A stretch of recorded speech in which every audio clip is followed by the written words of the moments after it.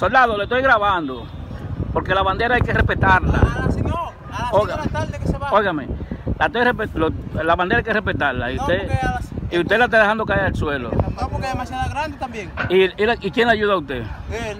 le Entonces, ¿por qué no baja la bandera tranquila? No, porque él es seguridad. Lo voy, a su- lo voy a subir yo, se lo voy a mandar al secretario de las Fuerzas Armadas. Y se lo voy a decir una, le voy a decir una cosa a usted.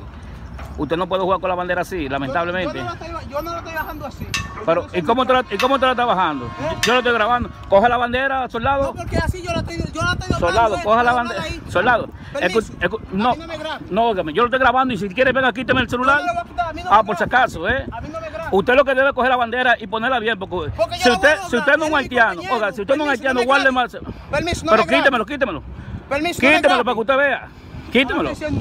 Pero quítemelo. pero ¿y qué? Pero vamos a ahí. dejar esto. No, la bandera, que me la ponga bien.